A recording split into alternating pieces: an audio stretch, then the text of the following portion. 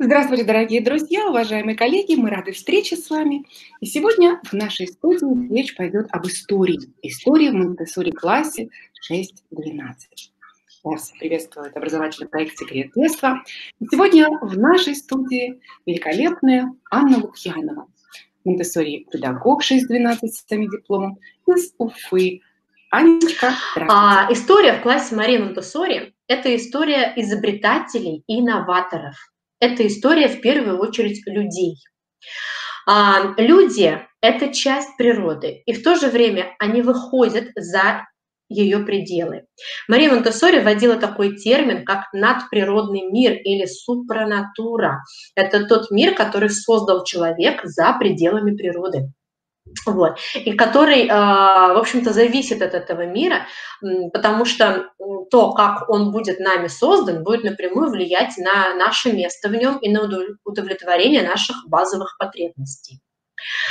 В течение работы по истории в курсе Марии Монтессори мы выделяем всегда три дара, которые есть у людей и которые отличают э, человеческое создание от других живых существ. Мы говорим с детьми, что у нас с вами есть разум, который думает.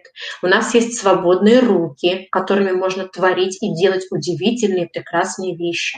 И у нас есть сердце, которое может любить причем любить не только себя и не только своих близких, свое близкое окружение, но и любить тех, кого даже не видишь, или любить совершенно неродных тебе Мы людей. предлагаем Это... детям выйти за рамки событий и отступить от войн, завоеваний, политических интриг и дат для того, чтобы они могли сфокусироваться на людях. Мария Монтессори верила, что такой подход к изучению истории разовьет в детях чувство общности со всеми людьми, неважно из какого они времени или места. Она верила, что с такой подачей дети, ставшие взрослыми, будут направлять свою энергию на инновационные подходы в решении мировых проблем, без предвзятости и предубеждений, размышляя, у нас есть общая проблема, одна для всех, как мы можем решить ее вместе. Вот. И это то, что мы, как монтессори гиды, монтессори учителя, конечно, должны держать постоянно на прицеле, да, у себя в головах.